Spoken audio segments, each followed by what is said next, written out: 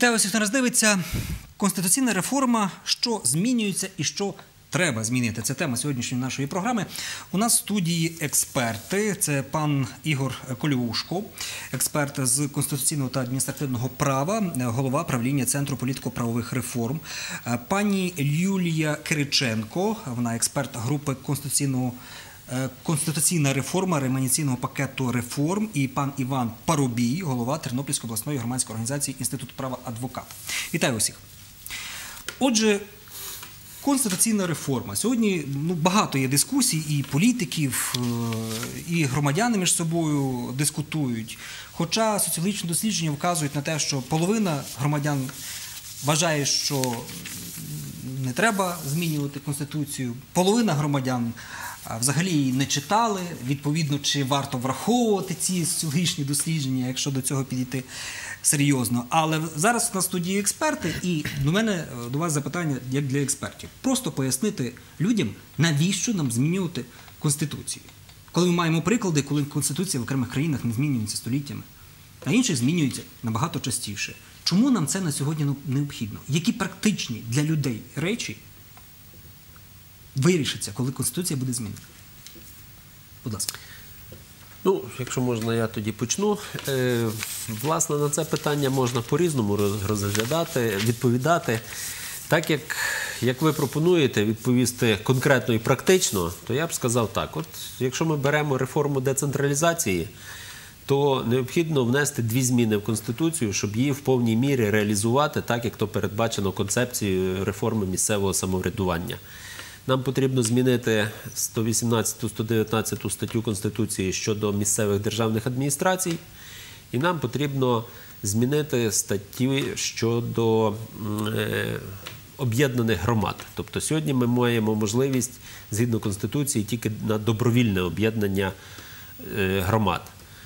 А колись цей процес треба закінчити. Тобто має бути, має, має бути пункт і щодо примусового. Ну, скажімо так. Ну, в Польщі так і було. Так Спочатку скрізь, було в усіх країнах так було. Давалося потім- два роки чи п'ять років. Всі е, мали час добровільно об'єднатися, хто як хоче, але рано чи пізно наступав момент, коли держава казала, все, хватить. Хто не реалізував свого права, за того ми тепер подумаємо і встановимо законом. Е, Такі самі приклади можна привести в сфері вищих органів державної влади. Наприклад, е, теж формування кабінету міністрів. У нас там є проблеми. Наприклад, там добре, що зараз є злагоджена така більш-менш е, е, робота президента і парламентської, парламентської більшості, бо це одна політична сила. А якщо вони не одну політичну силу представляють, ми бачили, що може бути в 2008-2009 роках. От щоб унеможливити такі е, речі, треба було б чуть-чуть, але все-таки підкоригувати конституційні норми щодо формування та діяльності Кабінету міністрів. Є проблеми в розділі права людини. Е, вони не настільки знову ж таки очевидні. Майже завжди можна на практиці е, давати правильне тлумачення і ці недоречності, які є в Конституції, обходити через тлумачення. Але чомусь так стається, що наші політики не завжди знаходять шлях найкращого з точки зору суспільного інтересу тлумачення, а думають більше про свої партійні інтереси, ще щось. І от всі ці неточності в Конституції вони часом вилазять боком. Дивіться, одразу ще одне запитання. Ми колись проводили бліц-опитування серед тернополян і в- районах, і люди кажуть: по-перше, давайте навчимося виконувати ті закони і ту конституцію, яка є. Друге, а де гарантія, що ті поліпшення, які мають відбутися, вони відбудуться, а не навпаки? от, власне, Враховуючи п- інтерес політиків на сьогодні жонглювати просто законами. От, власне, це друга частина власне, відповіді, яку я з самого початку хотів дати на ваше, на ваше питання. Тому що є загальна рекомендація. Якщо ми хочемо провести якісну конституційну реформу, спочатку треба добитися виконання діючої конституції. Якщо особливо влада не виконує діючу конституцію, немає ніякої гарантії, що після реформи вона почне виконувати конституцію. Друге питання: хто має ну, моральне і таке політичне право проводити конституційну реформу? Очевидно, не той, хто порушує діючу конституцію. От якщо ми ці речі ігноруємо, це означає, що ми зразу під конституційну реформу підкладаємо вибухівку, і вона потім вибухне. Ну, ви цікаво питання поставили, бо виходить зараз замкнуте коло. Давайте його розгорнемо із е, іншими нашими експертами. Будь ласка. Тобто е, виникає питання таким чином: зміни треба вносити обов'язково, але е, є загрози. Це те, що е, нинішні політики, які не виконують конституції, внесуть ті зміни на свою користь, і все одно ми наткнемося на те, що потім знову прийде інший політичний, е, скажімо, блок, який скаже. Там внесено було на свою користь, нам знову треба зміни. Це буде просто безконечно. Як нам цього уникнути? Е, Дякую, якщо можливо, да, відповім. От я хотіла і попереднє ваше питання, і це зачепити. Нам не конче необхідна конституційна реформа, якщо взяти формальні зміни до Конституції. Навіть ті, які експерти вважають корисним для України. Нам треба конче конституційна реформа, яка, яка включить наше суспільство. Єдине, якщо дійсно активна частина суспільства усвідомить цінність Конституції і включиться в процес конституційної реформи, вона усвідомить, що це установча угода між всіма громадянами, як реалізовувати владу, як керувати країною. То я вважаю, що в конституційній реформі, е, навіть так скажу, не так важливий зараз зміст, як важлива процедура, за якою відбудеться ця реформа. Ця процедура, на мій погляд, може, по-перше, об'єднати нас, по-друге, сказати, що ми єдина нація. По-третє, дати поштовх до побудови правової держави. Я, наприклад, іншої такої ідеї не бачу. І це буде відповідь на те, що наступні політичні сили не зможуть порушувати конституцію. Чому? Тому що суспільство буде свідомо бачити і знати, що конституція. Цінність бачити, що певні політичні сили порушують, і на наступних виборах вони не пройдуть до парламенту, не стануть їхній представник президентом, не пройдуть в місцеву владу. Лише за такої умови саме така конституційна реформа, на мій погляд, нам потрібна. Так, але е, от наша програма називається Що робити? Що за цієї ситуації робити? Адже я вже наголошував, 50% взагалі не читали Конституцію. А ви говорите про дуже важливий аспект це включення людей в цей процес. Зрозуміло, не вся маса може включитися. Можуть включитися люди, от як пан Іван Порубій. Він з одного боку адвокат, з іншого боку, він представляє громадську організацію Інститут права, і він об'єднує тих людей, які можуть включитися в цей процес. Бо я є прихильником е, того, що все ж таки зміни до Конституції. Принаймні виписати їх е, мають, а потім вже розтлумачувати представники ЗМІ можуть, але, але не можуть диктувати е, просто маси сам текст, тому що це мають писати фахівці. А, а, а маса можуть вкласти е, політики якісь слова і будуть вимагати, що себе. Тобто тут ми маємо ще й свої загрози, щоб часом нас маси, за якими стоять політики, не почали е, диктувати конкретно зміни, а ми їх будемо змушені потім. Бо, бо вийде маніпуляція, та яку е, зараз е, наштовхується Європа. Там права людини дуже треба дотримуватися, це в них закон, але водночас Росія це дуже активно використовує. Так і в нас політики добре.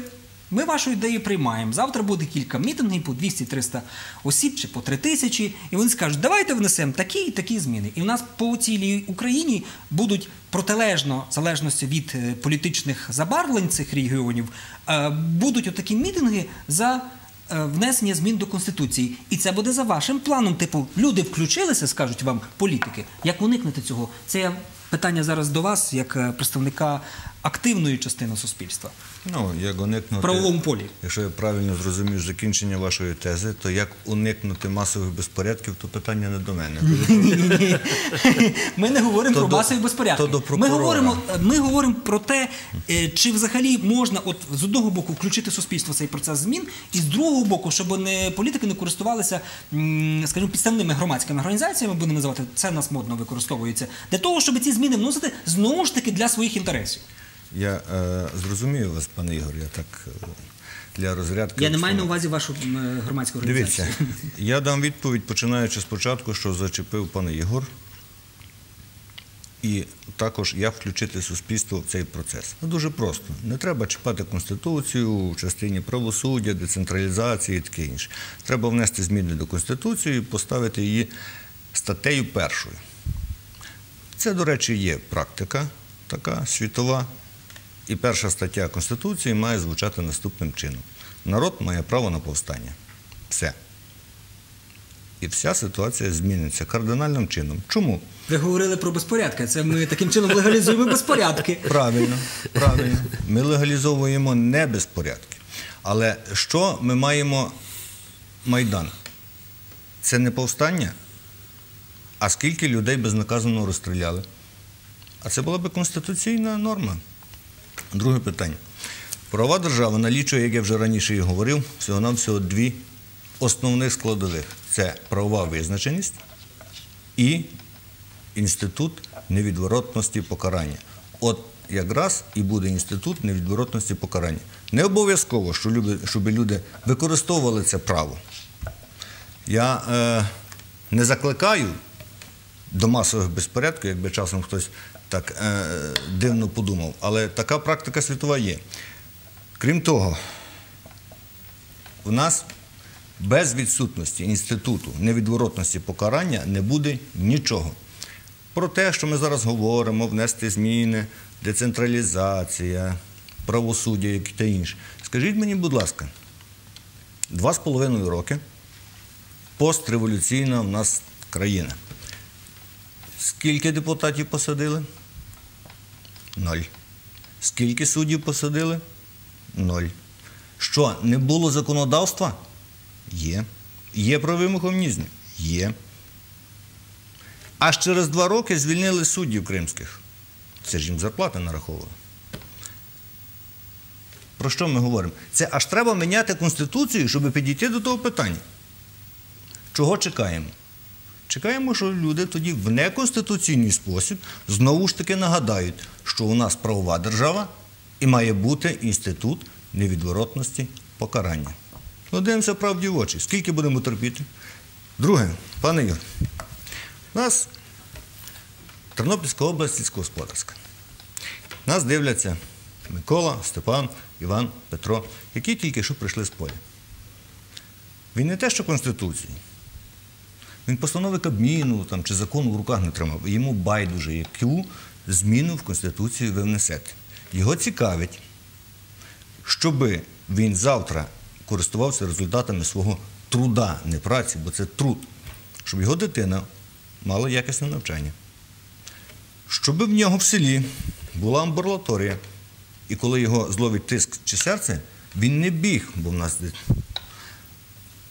кудись десь громаду за кілометрів 50 за нітрогліцерином, бо він не добіжить. От що його цікавить, а не зміни в Конституції.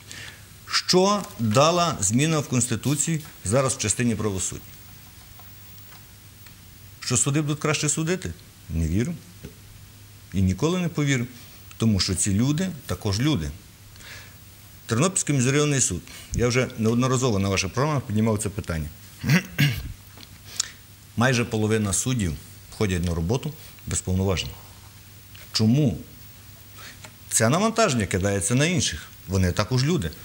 Ну коли в людини 2,5 тисячі справ в рік, розумієте, професор, який читає таку брошурочку, 2,5 тисячі брошурок в рік, йому Нобелівську премію ледь не дають, так?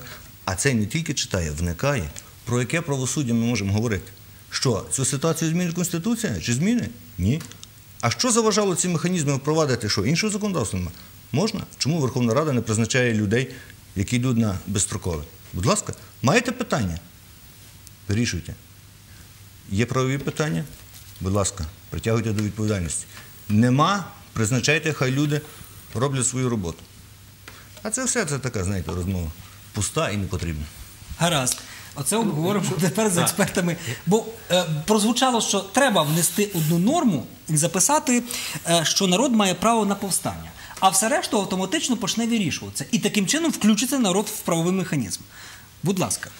Ну, по-перше, е, я хочу сказати, що мене зовсім не дивує, що е, якийсь чоловік, який працює в полі, не читав Конституцію. Це абсолютно нормально для того, хто працює в полі.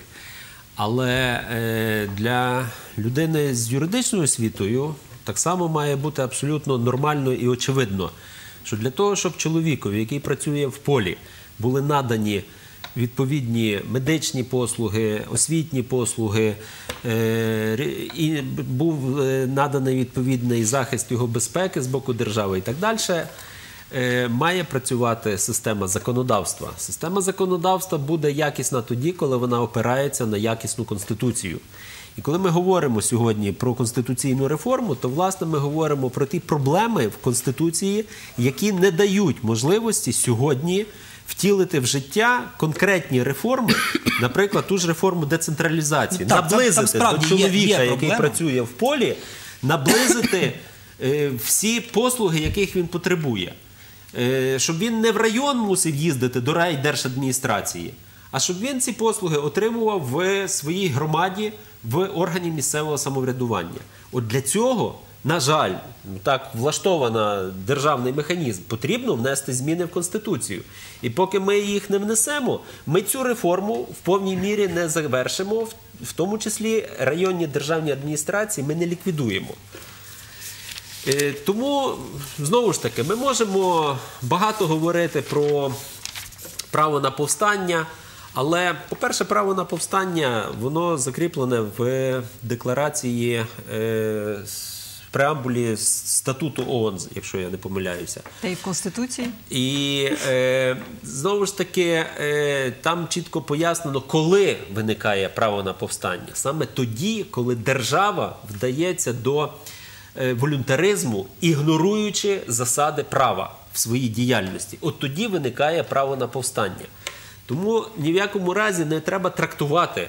Що право на повстання це право робити все, що хочу. Якщо мені держава не подобається, то я, значить, завтра значить, абсолютно ігнорую цю державу. Чи починаю реєструвати так звані свої громади і не платити податки в, в державу. Це ніякого відношення одне до другого е, немає. Пан Іван говорив не про державу, а про владу. Ну, так Влада воно- і держава це не завжди одне і те ж. От. Тому насправді, насправді, знову ж таки, якщо розбиратися по суті, то в кожному, в кожному кроці є своя, своя логіка. І ну, на різному рівні це треба просто фахово е, все розбирати.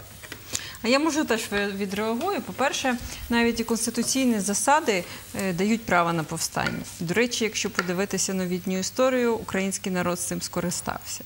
Якщо виходити з права на повстання, да, е, то якраз ще одне повстання не, прив- не призведе до еволюційного розвитку і успіху нашої країни. Да? Це буде ще одне чергове, можливо, через деякий час і крок вперед, але на сьогодні, вважаючи дуже ем, слабкість нашої держави економічно і вважаючи геополітичні процеси, це може призвести навіть до втрати державності. Тому на сьогодні треба завершити те, що ми вже почали. Революція гідності відбулася, право на повстання. Да, на жаль, ми маємо смерті, але е, це змінило свідомість багатьох людей. Можливо, як е, трохи покоління інше, я скажу, що наше покоління готове, активна частина, яка об'єдналася в реанімаційний пакет реформ, готова працювати без грошей на те, щоб реформувати державу, а не виходити на повстання. Знаєте, нам здається, що досить повстання. Треба все-таки еволюційним шляхом іти до влади, започатковувати е, дійсні реальні політичні сили, говорити про конституцію і для Степана, і для Івана, які працюють в полі. Починати це можливо з початкової школи, тому що так просто зарисовка була в Вашингтоні. Я їду на машині, дуже велика черга стоїть з дітьми маленькими, 5-7 років, ну так на око. І я кажу, що це за черга, кішоу, Америка. Кажу, ні, це ж музей Конституції стоять. Безпека. Я кажу, як музей Конституції? Каже, в нас кожна родина з будь-якого штата вважає за необхідне привезти дитину і показати, що батьки засновники держави від руки, там, де була написана Конституція, її написали. І що кажу, для чого вони це роблять? Для того, щоб вони розуміли, що контролювати ці тексти мають діти, коли ми підемо. В мене інша картинка, що ми в Радянському Союзі стоїмо до мавзолею і поклоняємося ідолу. Ну, це дуже правильно, і пан Ігор е, підтвердив мою тезу, що це не тільки моя думка, а світова практика юридична право на повстання. Ну, звісно, е, дуже цікаво було продовження моєї тези. Чому? Звісно, навіть і повстання. Будь-яка дія має логічне чогось завершення і причину виникнення.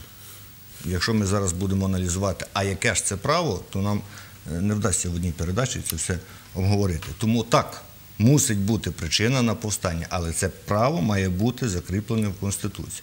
До речі, якщо мені не зраджує пам'ять, то в Конституції Сполучених Штатів таке право закріплено. Крім того, я нагадаю про те, що Конституція Сполучених Штатів, яку дуже цінять американці, не змінювалася під час війни. І я за те, щоб змінювали Конституцію, відрегульовували, але не під час війни, друзі, бо є інші механізми і інший час на зміни. Гаразд. Але того, ва- Перше, приклад Конституції Сполучених Штатів тут явно некоректний. По-перше, там нема такої норми, що вона не може змінюватися під час війни. По-друге, вона Ні, якраз я не кажу, що не змінювалася може, в час але- громадянської війни, наприклад, безпосередньо вона змінювалася, тому що громадянська війна в Сполучених Штатах Америки була саме за те, щоб внести зміни в Конституцію. От, але ну, це знову ж таки інше питання. Можемо і про це поговорити. Чи, чи є у нас зараз е, умови воєнного стану і так далі. Ну, законодавчо так. У нас немає ну, це оголошеної правильно. війни, а Так, є. От, АТО. власне, ми Є приходимо до АТО. формальності. А я, хо- я хочу, хочу сказати про сутність, розумієте? Е, пане Ігоре, якщо щоб ви правильно мене зрозуміли, я не е, ярий противник змін до Конституції, законодавства і так далі. Я як правник і практик, я реально розумію, що законодавство треба міняти. Але я почав би з іншого. От правники практики розуміють, в чому проблема. Наприклад, ну, зараз ми говоримо про зміну, скажімо, які останні були в правосудді. Не змінить ситуацію зміни до Конституції в частині правосуддя. Тому що проблема закопана глибше. Я замість того би сконцентрував увагу законодавця на уніфікації законодавства, тому що в нас один закон, одні й ті самі суспільні відносини регулює по-різному. Крім цього, Різні закони регулюють по-різному. Крім цього, е, практика Верховного суду з одних і тих самих суспільних відносин, з одних- і тих же самих проблем, от таково кардинально протилежна. Яку практику використовувати? От суддя першої інстанції він приймає рішення по цій практиці. І йому зразу скажуть, не правосудне рішення, тому що є інша, і будуть праві. От з чого починати треба. А зміни в Конституцію скоригуються? Ні. Ні. Ні, так це, це зовсім інша, інша розмова. Я, я повністю згідний. У нас є дуже багато проблем, які можна вирішувати і треба вирішувати без внесення змін в Конституцію. Більше того, я скажу, е, найбільша кількість наших проблем е, є не через погану конституцію чи навіть погане законодавство, а через невиконання того законодавства і тої конституції, які ми маємо. Однозначно. Якби ми хоча б те виконували, що ми маємо, ми, на моє глибоке переконання, мали на порядок менше сьогодні проблем. Е, але я просто завжди, чому я так зреагував на, на тезу про е, там, зміни в Конституцію і війну, тому що це зараз на, на слуху.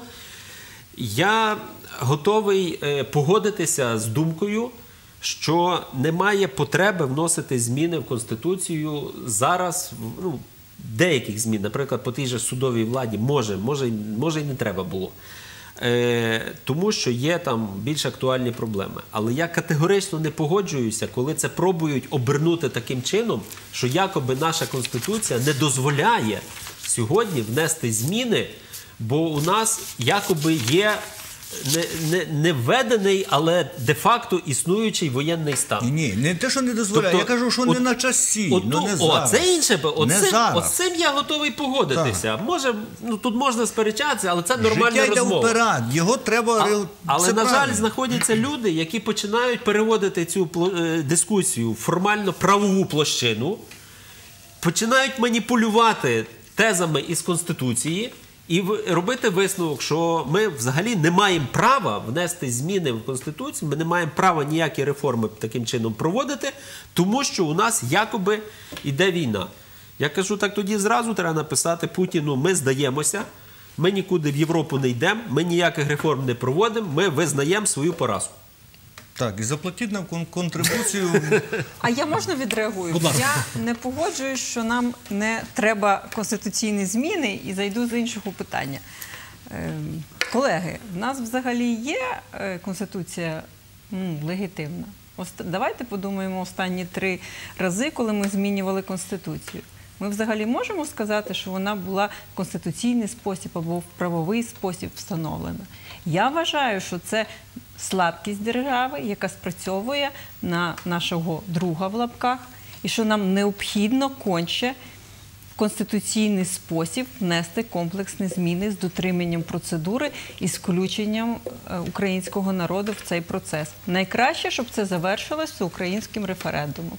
Це показало би на світовому, е, на геополітичному такій карті е, сил, силу нашої держави. І це теж не, я б сказала, не останнє, не другорядне питання. Це зовсім інше, ніж виконання, невиконання законодавства, але дуже серйозне, бо стосується нашої державності. І друге, е, тезами підвели невиконання Конституції і невиконання законів. От я вважаю, що дотриманням процедури і дотриманням процедури проведення конституційної реформи ми можемо вплинути на те, щоб дотримувалася і Конституція, і законодавча краще як політиками, так і суспільством в цілому.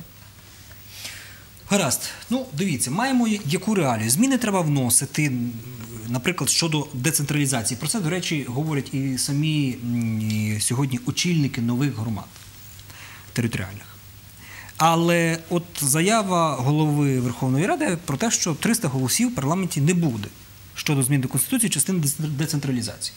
І, можливо, вони би були, так випливає з його власне заяви. Е, Але багато депутатів е, говорять про те, що має бути якось вирішене питання. Це особливості місцевого самоврядування в окремих районах Донецької і Луганської областей. Йдеться про окуповані території. Ось чи можна там застосовувати ті самі е, закони до цієї території окупованої, що й, грубо кажучи, там до Києва, там Тернополя і Львова. Ну, власне, власне, що не можна застосовувати там ті самі, ті самі закони, ніяку децентралізацію проводити сьогодні на Донбасі, в принципі, можливості немає, чи в Криму, наприклад. Але якраз проблема цього законопроекту полягає в тому, що тут президент чомусь змішав в одному законопроекті, по-перше, дві різні проблеми: проблему правового забезпечення виконання е, реформи децентралізації, передбаченої концепцією. І по-друге, е, як він сам пояснив, проблему виконання мінських домовленостей. Воно одне з другим нічого спільного не має. Як відомо, децентралізацію треба проводити там, де для цього є можливості, де є мир, спокій, де працюють, люди де працюють хочуть- закони і де люди хочуть нас 26 громад. проводити, проводити ці, цю реформу. Е, Там, де йде війна, ніякої децентралізації проводити не можна. І тому е, мав би бути можливо запис про те е, в перехідних положеннях Конституції, що положення, передбачені цією там зміною, цими новими статтями Конституції, будуть застосовуватися на території Донбасу і Криму після виведення звідти окупаційних військ і так далі, і тому подібне. І це була б нормальна, коректна норма. Але президент з якихось своїх міркувань записав дуже двозначну норму. Як ви знаєте, 18-й пункт, вписаний президентом в е, проект е, внесення змін в Конституцію, в перехідні положення, говорить про те, що особливості здійснення місцевого самоврядування в окремих районах Донецької і Луганської області регулюються окремим законом. І ця е, фраза повністю співпадає з назвою закону, який був проголосований, якоби проголосований Верховною Радою України 16 вересня 2014 року, після Іловайської трагедії, зразу після перших мінських переговорів, е, на закритому засіданні Верховної Ради з виключеним табло. Саме тому я говорю, якоби був проголосований. Ну, є свідки, які кажуть, що він був проголосований, а є свідки, які кажуть, що вони в цьому зовсім не впевнені. І от цей законопроект, який не діє сьогодні, Він там має цілий ряд е, положень, є абсолютно незрозумілих мені, наприклад, з точки зору інтересів української держави. І назва в нього така сама. Особливості здійснення. і от е, багато депутатів в Верховній Раді почитали це і кажуть: о, так це ж спосіб легалізувати той закон. Тому вони виступають категорично проти закону в цілому. І замість того, щоб внести зараз зміни у Верхов... тепер законопроект є Цей в Верховній Раді. Так. Так, президент чомусь так вніс. Це його справа. Знаю. Маєте можливість з ним спілкуватися, питайте в нього. Я не маю можливості задавати йому питання. А, але законопроект тепер є у Верховній Раді. Чому за рік в нього не можна було внести зміну чи вилучити цей пункт, чи, чи ще е, якось його модифікувати, коректно, хоча б юридично його виписати? Навіть хоча б те, що він вписаний в перехідні положення, але в ньому не визначений строк. На який період він діє? Чому, якщо він безстроковий, чому він в перехідних положеннях? І так далі. Верховна Рада цього також не зробила. І тому законопроект, на жаль, сьогодні безперспективний. Хоча все в руках депутатів. Так. Е, гаразд, тепер я пропоную, от в нас є деяка статистика, яка стосується і, і, і у вас вона є, яка стосується і Тернопільської області, так? Тобто, щодо що знають люди про ініціативи щодо змін, і власне, які відомі їм е, зміни, які будуть вноситися в Конституцію. Давайте коротко це прокоментуємо, ці цифри, для того, щоб ми знали. Давайте почнемо з ініціатив.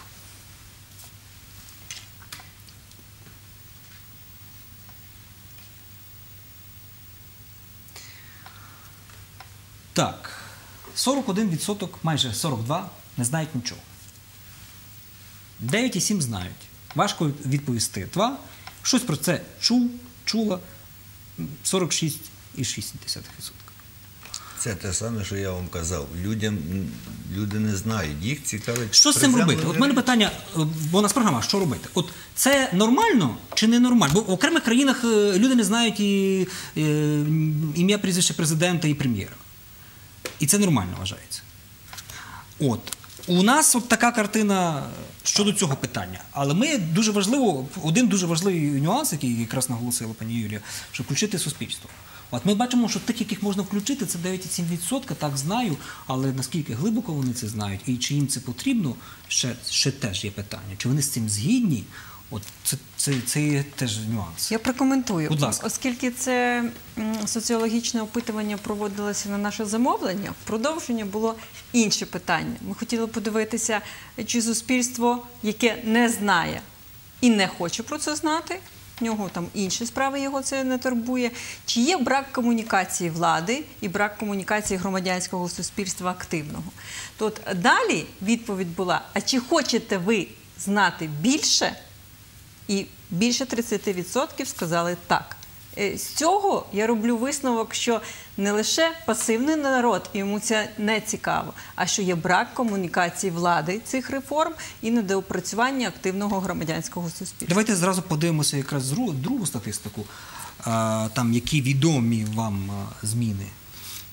Так, ну це те, Це що те ми саме, бачили. так. Це так. Ми ще раз актуалізуємо відсотки, хто там захоче ще раз на них глянути.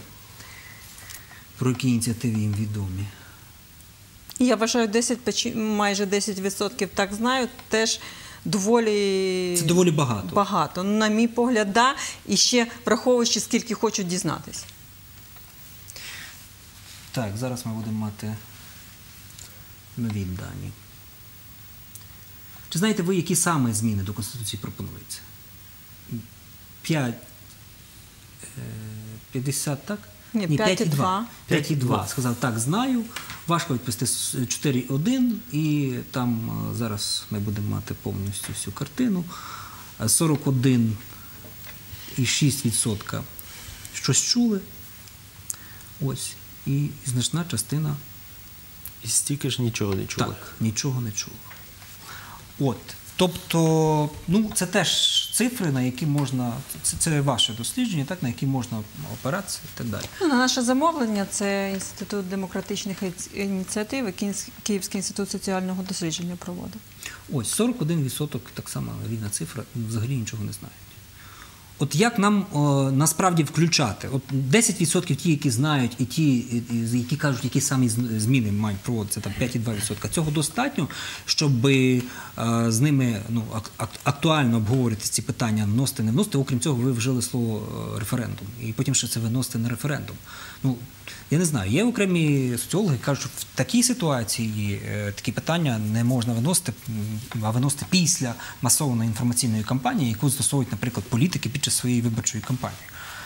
Ну, Я вважаю, що інформаційна кампанія має бути трошки інша, спрямована на просвіту. Ну так, але вона має бути в такому темпі. Там Да, не, я не- не один ролик, е, скажімо, там на телеканалах в день, а 61 так, за добу.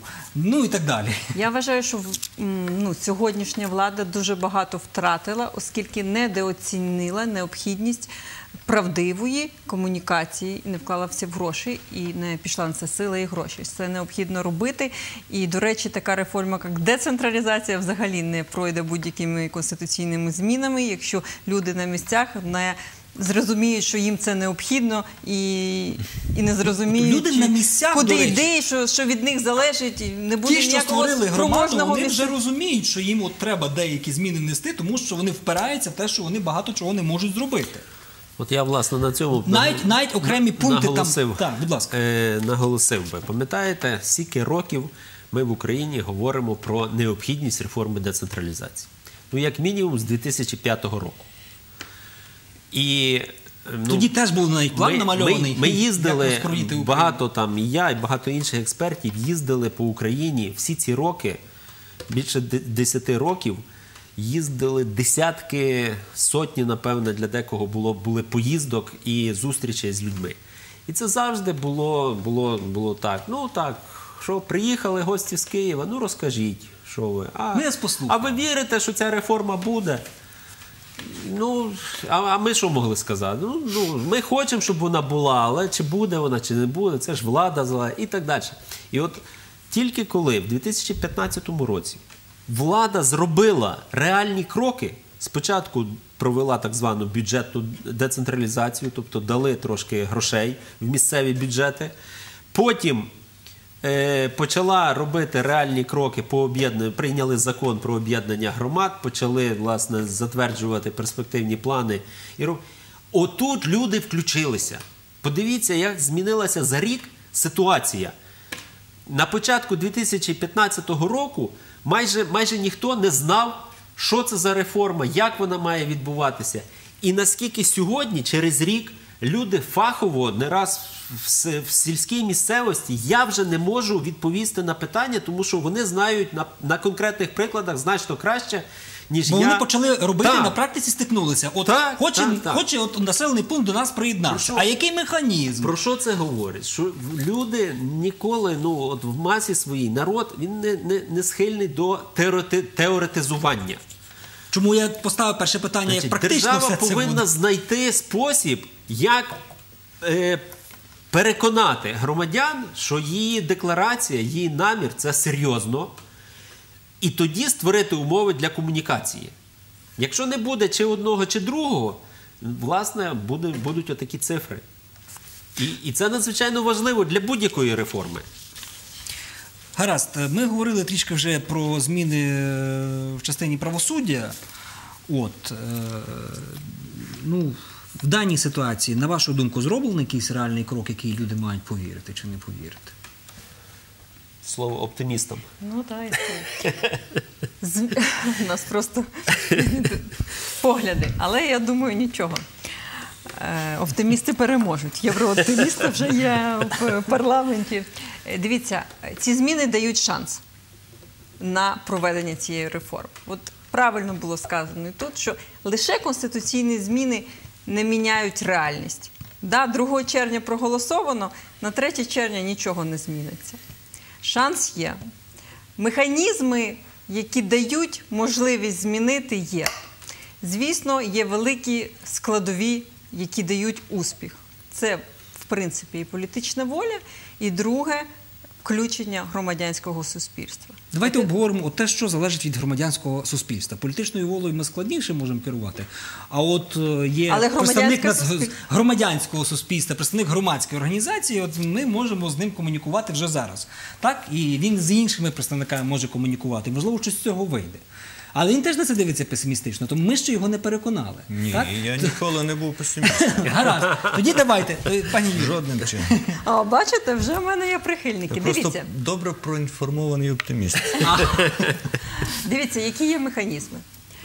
Перше, дуже потужна і що без конституційних змін не можна було зробити. У нас є можливість привести в вищі суди швидко за 6 місяців людей з позасудової системи. Я вважаю, що це е, такий Оновити склад вищого Да. судової інстанції. то можуть зайняти посади суддів Верховного суду, які створюються замість сьогоднішнього Верховного суду і усіх вищих спеціалізованих судів. Привести туди людей, які у вас скільки стажу роботи адвокатом? ви мені скажіть, що воно дасть. Ні, давайте, давайте, дамо, дамо, пані Юлії закінчити. У вас скільки стажу роботи? 18 років. О, буду благати вас і- Я не подаватись на конкурс. Оце головне. Дивіться, адвокати, які мають стаж роботи більше 10 років, можуть подаватися на конкурс Верховний суд, і науковці, які мають стаж в галузі права більше 10 років, можуть подаватися на конкурс і ставати суддями Верховного суду. Це відбувається на рівні, на тих самих засадах, йдуть на конкурс і сьогоднішні судді Верховного суду, і судді вищих спеціалізованих судів. Що воно дасть? Якщо ми, якщо ми переконаємо доброчесних правників, науковців і адвокатів йти в вищі суди, якщо вони е, зможуть протистояти політичній волі і грошам, то ми змінимо цю судову систему. Якщо ми це разом не зробимо, звісно, ми залишимо стару судову систему. Тепер звернемося до побуту чи хімії, не знаю, як правильно звучить. Педагогіці цей приклад теж е, використовують. Є огіркова закваска. Там є огірочки, які вже заквасилися, вони вже готові. Ми беремо чесних, умовно, огірочків, які ще не заквашені, і хочемо, щоб вони такими залишалися, опускаючи їх в цю закваску. Але вони заквасяться значно швидше, ніж квасилися ці попередні.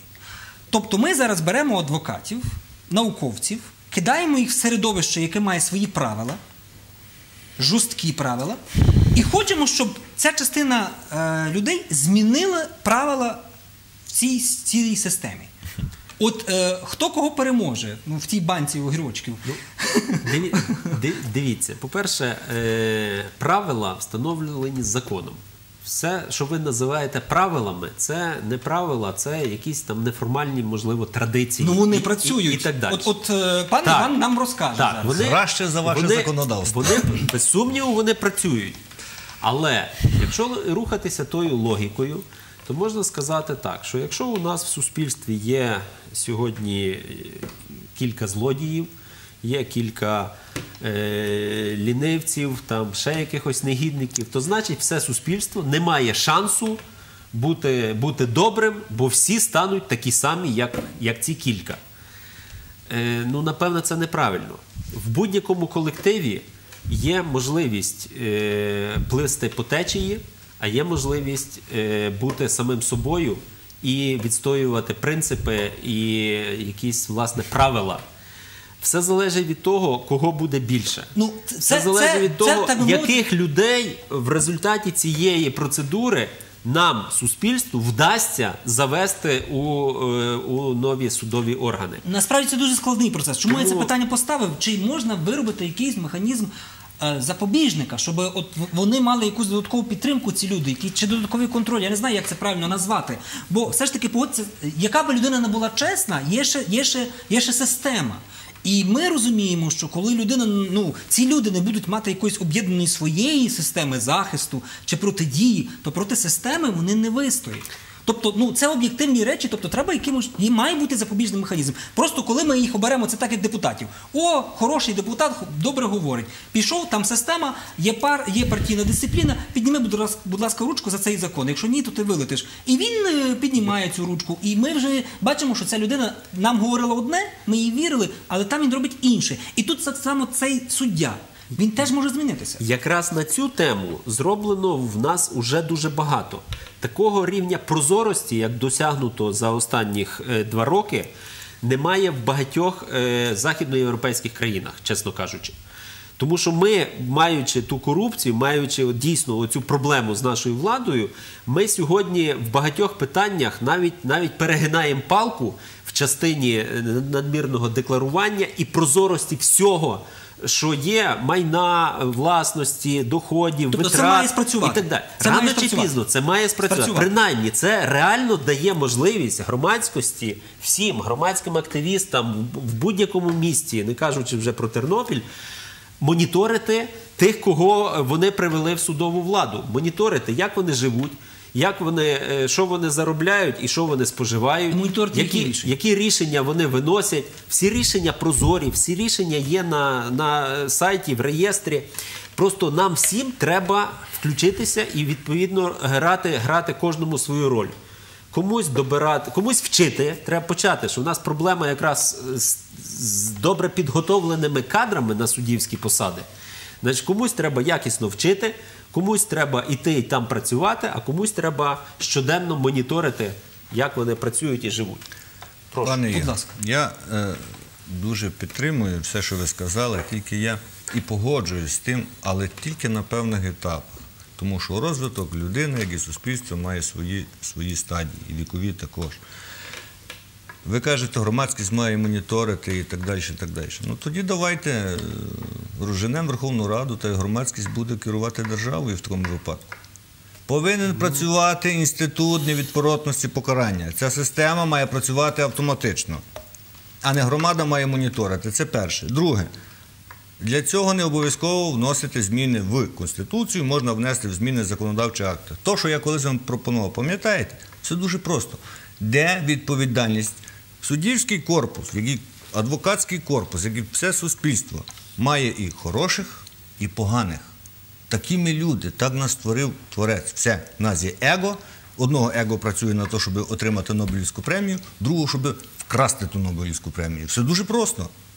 Але, а де система противаг? А її нема.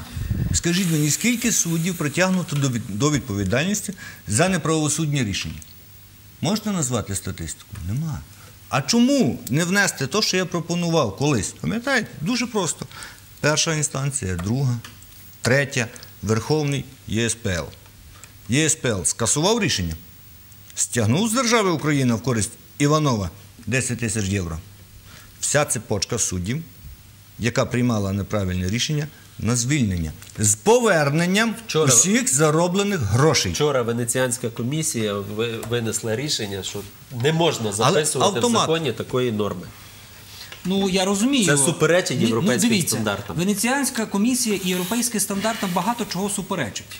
Але є багато норм, які стосуються, наприклад, там, е, ну, коли європейські цінності перечать християнським цінностям. І ми не можемо їх вести, тому що в нас будуть такі майдани, які ніхто ніколи не поборить і нічого не зробить. І ми це повинні враховувати. Тобто наше суспільство трошки відрізняється. Можливо, для оздоровлення цієї системи і щоб був запобіжник. Я вважаю, от, ну, я не правник. Але для цього- як звичайна людина з боку, оцей механізм давав би мені надію. Я більше би вірив. Правильно. А сьогодні ми хочемо, щоб суспільство включилося. Якщо ми не дамо, ви сказали самі, що маємо переконати. Як ми переконаємо, коли ми не даємо чітких аргументів на надію? Дивіться, Чітким аргументом на надію щодо децентралізації, знаєте, що було? Коли чітко було сказано, яку суму отримає область, а потім громади. Люди зрозуміли тоді лишень, що Так. це. А, і, і це їх переконало тільки на 50%. На 100 переконало тоді, коли ці гроші прийшли. І, і тоді вони починають вже їх ділити. От тоді вони вже вірять, що це щось буде відбуватися. Але, пане Ігор, тут ще, ще є один момент. Другий. Система знову ж система будується з противаг. Це невідворотність покарання, домоклов меч. висить над плечем. Але що взамін? А взамін не може суддя, який отримує 15 тисяч гривень на місяць зарплати, вирішувати питання на 5 мільйонів. А якщо в них- в нього 10 таких справ, от вам про бочку. А, а як? А я не зрозумів. Хто, А я- хто має вирішувати? Ні, а я про це скажу. Я І тут є, 5 за- мільйонів. тут є запобіжники. Е, Ви є мене не чітко зрозуміли. записана норма. Він буде вирішувати це питання, але як? Ні, д- Так, давай. так, ну, спокуса залишається. Так, от, Звісно ви, ж. ви дивіться, як він Йому вирішує- треба як він дати вирішує тоді це не питання. 15 тисяч гривень, а 15 тисяч доларів. Вибачте, От вам нов- система новий противаг. закон, мені здається, навіть зашкалив трошки, занадто вс- підвищив зарплати су- в судовій Це системі. добре, це добре. І Це Я це добре, схвалюю. це добре, так. Тому я і кажу, що так само погоджуюся, що є абсолютний шанс, що ця е, ну, реформа Спокуса може, є, але може вона вже не та. Але я говорю ще про інше. Але Якщо ти отримав разі. стільки грошей в місяць, то ти повинен знати, що завтра за неправосудне рішення в тебе заберуть усю зарплату, яку ти заробив за весь час суддівства. Ну, загалом так, тільки не так просто. Не так просто. А і це знову ж таки Добре, залежить від візьмемо активності. це як схему, її можна розписати. Ні, од- одну, одну тільки тезу я хочу наголосити. То, оскільки ви, е, пане Іване, заперечили, заперечили те, що я говорив. Е, значить, Він має на не це можна, право. Ні, без сумніву, право то маєте, тільки. Пане Юрію, я з вами якщо з усім ви- погоджуюся, Ні, тільки ні, зроблю по-своєму. Дивіться, дивіться. Е, Те, що ви сказали, що має бути невідворотність покарання, це без сумніву, це принцип, він має бути. Ну, нас Але, але подивіться на найбагатші країни, на Сполучені Штати Америки, на скандинавські країни. Скільки там громадських організацій, скільки там громадських ініціатив, скільки там громадськість, наскільки вона включена в функціонування різних рівнів органів влади. Саме тому вони там забезпечують рівень, е, мінімальний рівень корупції, Так. тому що громадськість там не сидить, склавши руки, Тому і не що чекає, що держава все за них зробить. Голова громадської чи засновник організації не платить податків, він має з цього зиск. А що в нас? Трошки Так, краще в них, але не є так уже є добре, давайте, щоб давайте не надамо слово пані Юлії. Ну, будь ласка. Ну, зачепили пару моментів.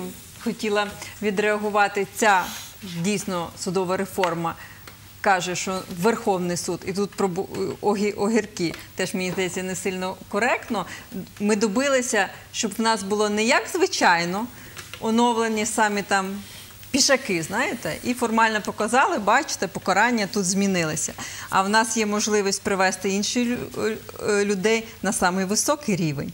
Верховний суд це самий високий. Вище спеціалізований змінюється.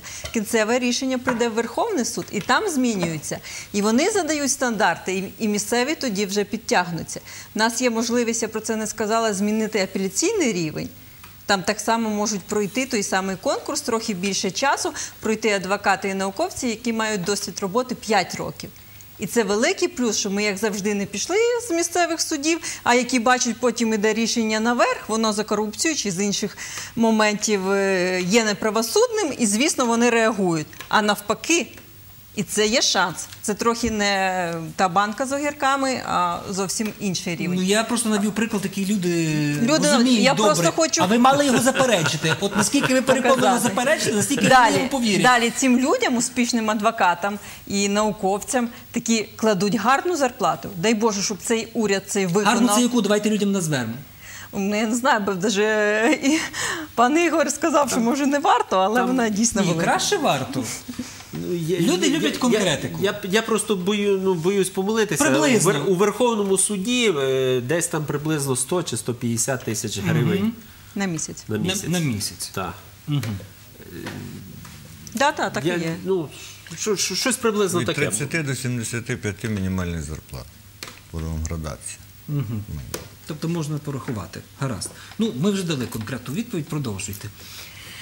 Ось. Е- Знову таки, тут захищу, що це має шанс. І знову підтверджую е, тезу, що шанс судова реформа буде мати на успіх, якщо ми будемо моніторити. А ще ска- скажу про такий інструмент про громадську раду доброчесності, яка включається в процес оновлення су- суддівського корпусу, який дається такі можливості. Вона може формувати суддівське досьє, яке стає на сьогодні відкритим. От нас була переатестація, вона не сильно спрацювала суддів. Це суддівське досьє було закрите, мали лише відповідні чиновники. Е, І плюс був нюанс, що державні органи мали саме довести, що ваше майно, там майно судді, е, отримано в незаконний спосіб. Хоча об'єктивно ну, ми бачимо дуже шикарну машину, вона не співмірна з заробітною платнею, але це не давало можливості зробити висновок і звільнити такого суддю. Тепер буде навпаки, суддя має довести, що все, все майно, що в нього є, і там і родинні зв'язки перевіряються, вони куплені відповідно до заробітної плати або інших доходів, якщо вони в нього були. І цей обов'язок перекладається на нього.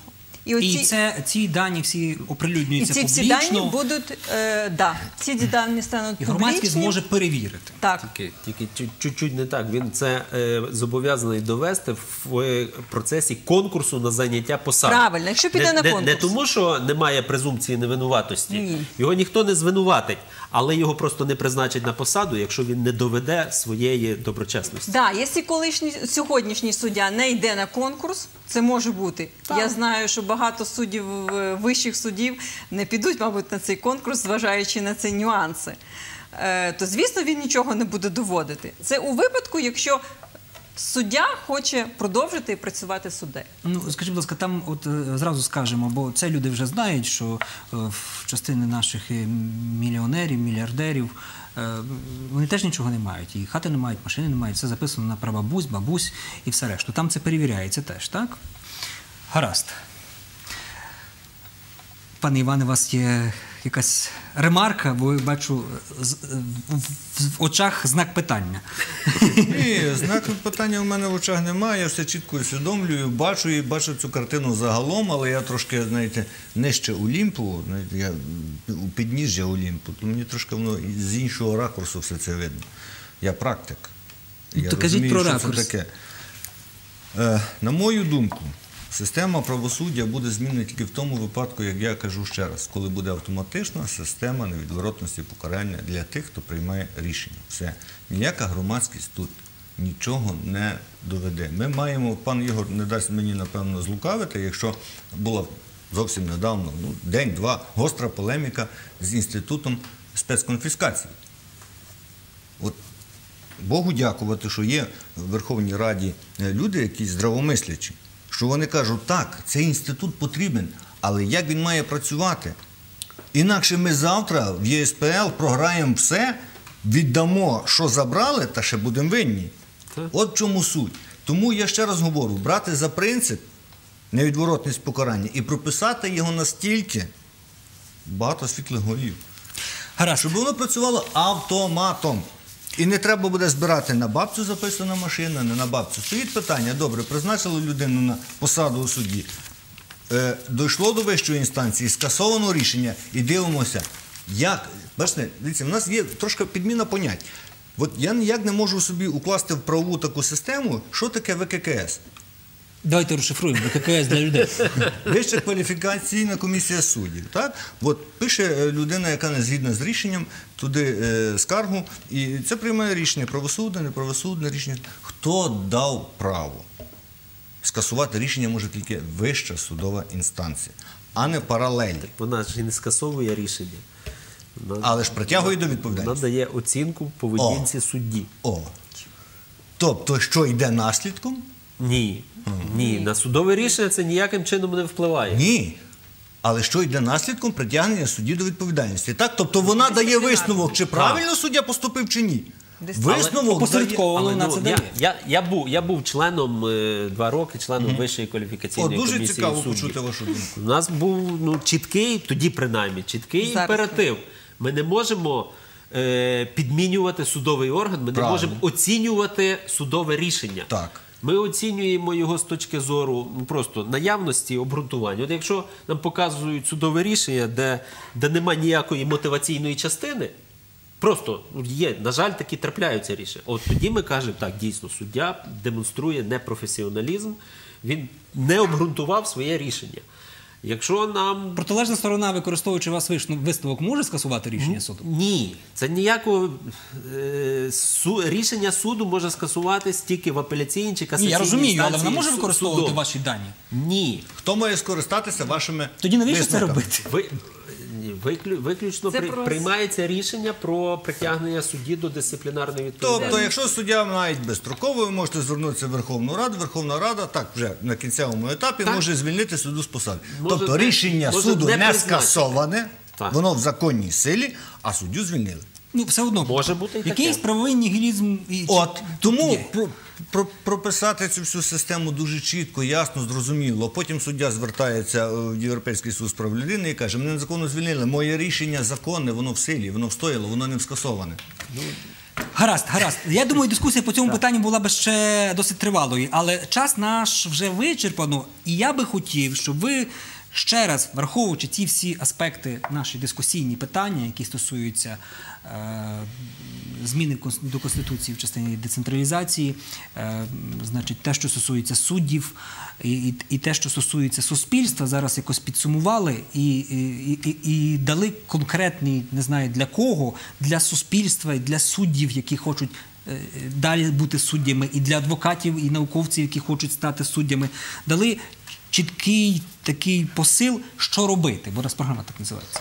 Будь ласка. Хто? Я готова. Я Будь готова. ласка. Е, Давайте. Е, Легкого рецепту нема. На жаль, треба працювати. Що робити? Треба е, усвідомити, що починати необхідно з себе. Треба вчитися. В цій сфері треба вчитися в правовій, принаймні давати базові цінності дітям.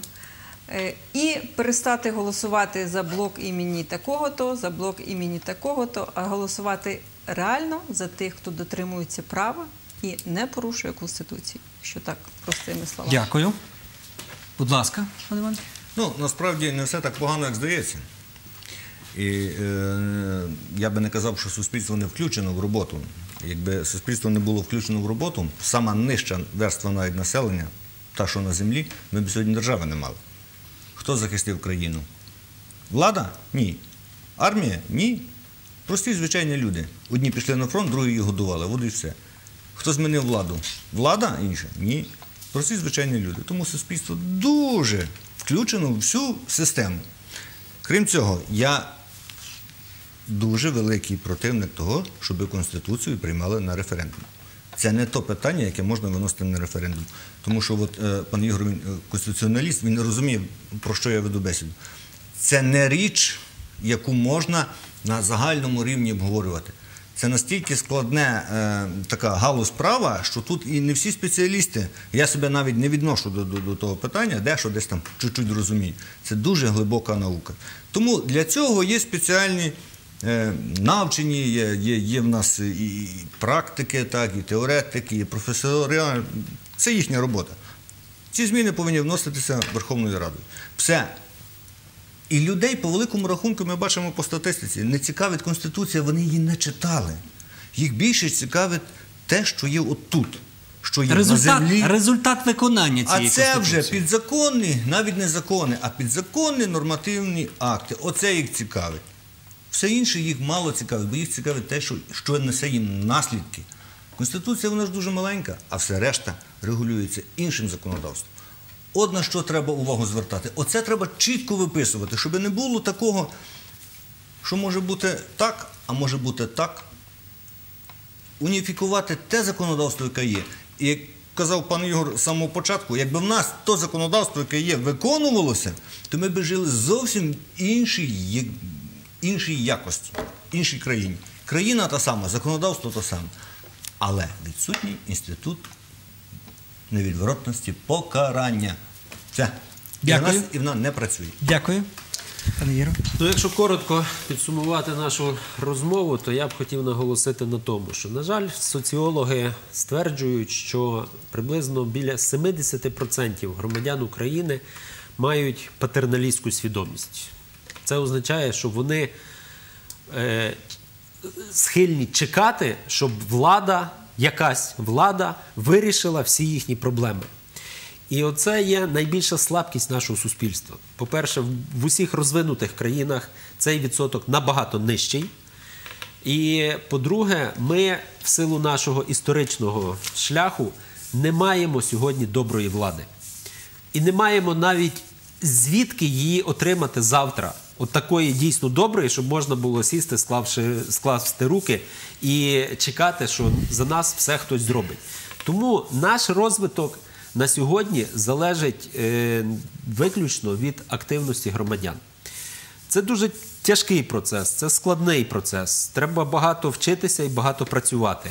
Але, як правильно навів приклади, тільки що пан Іван, якби не було активності громадян, ми б не відстояли незалежність, ми б не вистояли в збройному конфлікті, і ми б багато чого іншого б не втратили. Тобто ми насправді довели, що ми можемо самі вирішувати свої проблеми. Просто тепер ми повинні навчитися це робити не тільки на фронті, а в, судах, в відносинах з виконавчою владою, з місцевим самоврядуванням, зі сміттям, з лікарями, з вчителями. Скрізь все залежить, врешті-решт, від нас. Як ми, громадяни, захочемо, так ми будемо жити. Раз, дуже вам дякую за участь в нашій програмі. Вам дякую за те, що ви нас дивилися. Бувайте здорові.